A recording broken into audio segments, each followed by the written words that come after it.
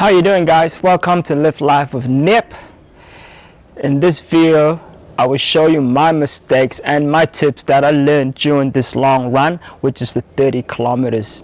Trails, on the trails, it is the first longest trail run that I, I have ever done in my lifetime.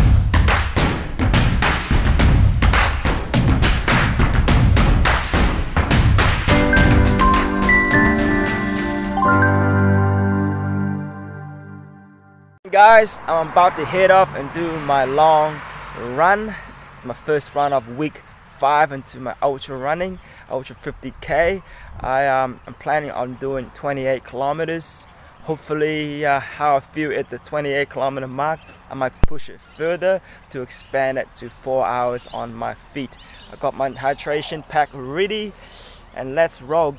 The the longest run that i've done previously which is the 21 kilometers which is 12 which is five years ago when i signed up a on a 42 kilometer spartan race which i did not cross the the, the, the, the finish line. I made it halfway and i couldn't because I did not train for the hills, which is my mistake, and I did not do enough research, right? This time around, I did lots of research. Every day, I pretty much uh, watched lots of videos in YouTube, uh, following people who are pro runners, getting some tips the running community on YouTube is amazing. They love supporting each other and sharing information. So this time around, I was I was a bit more prepared, but I did some few mistakes and I love to share with you um, at the end of this clip what it is from based on my experience running this 30 kilometers today. Stay to the end of this video and I'll share you my tips and my mistakes during this run and I hope that you enjoy the video. This is like the longest hill high percentage grade it's about 40 30 40 percent guys look at that.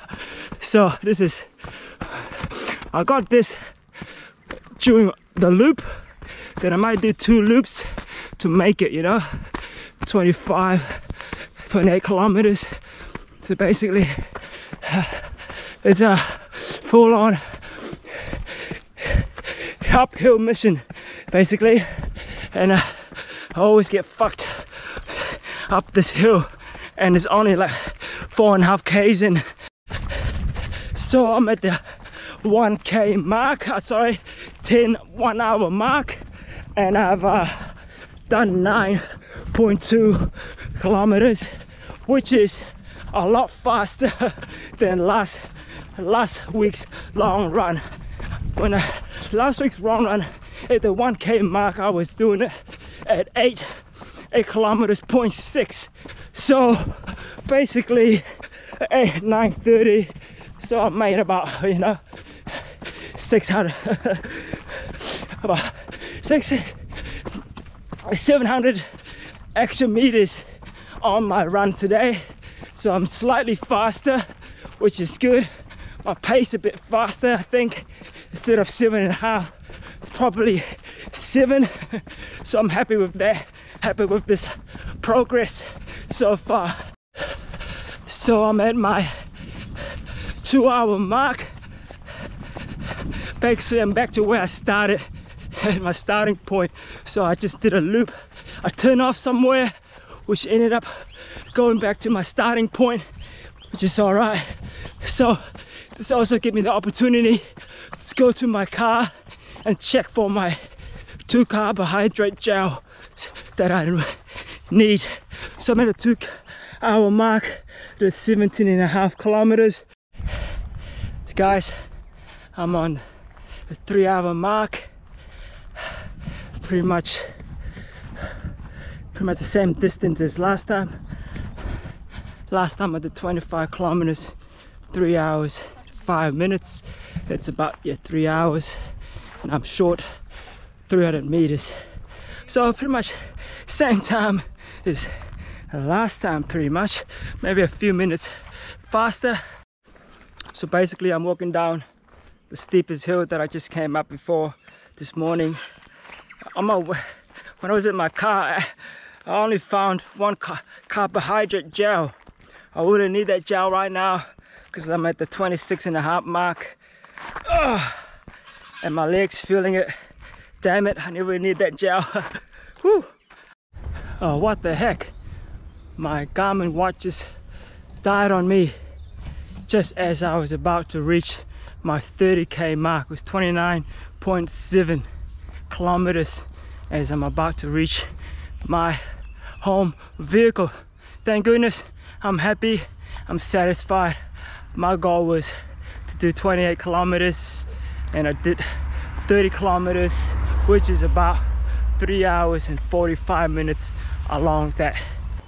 So, welcome back. So, what are my mistakes that I, I done during this 30 kilometers? One, basically I was running a bit faster at the beginning. I was trying to stick to about 6, 6, 630 mark with the first 5 kilometers to 10 kilometers, which I have done nicely, which I've done nearly 10 kilometers in one in one hour, which I'm very very happy. And then um, and then uh, that was that, that I paid for that at the end, which is around the 20k marks, and my legs were starting to feel it, right? Uh, second mistake is double check your bags, right? Your, your, your energy gels. I lost two gels that I really needed, which my carbohydrates.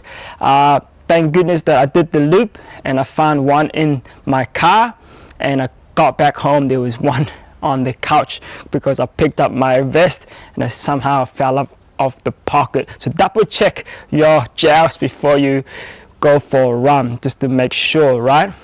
Number three, uh, mistakes is basically, um, what am I talking about? Basically is, is cramping, right? Cramping. I was starting to feel the, the cramps building up around the 25k mark. Um, apparently you um, you just recommended to bring some sort of salt tablets or some sort of salt drinks that you can uh, sodium to um, to re replenish your salt because you lose a lot of sweat use a lot, lot of salt and sodium through your sweat as well which uh, so next time I will bring some sort of salt tablets and drinks. Number four four is it four? So four is basically um, the wall. I was feeling hitting the wall basically around the 28 kilometer 26 kilometer mark. I start to feel my legs cramping up uh, I, mean, I mean tensing up uh, uh, I feel like I was hitting that wall already at the 20k uh, mark so that is the um, my that's my tips and what I found out during my 30 kilometers run. I hope that you uh, go out there and be prepared yourself. And I'm trying to I'm trying to prepare myself for better next time I'm going any further than 30 kilometers on the trails. All right, take care, guys. Also, I forgot number five. Uh, basically, I tried this um, when it comes to nutrition. I was trying this oat bar with some vanilla um, slice on top and I, I enjoyed it but didn't satisfy me very much very much right? So um, tr um, try different things. So next time I'm gonna try to bring a pizza something along that line something more solid so I can feel because I noticed that I get a bit sluggish and I feel my stomach feel empty. Once I fill my stomach up with some decent food I feel much better. I feel like I have more energy just because knowing that my stomach is filled with food, right? So that's that's it, guys. That's five tips of five mistakes that I need to to um, sort out during my next run. Um, yeah.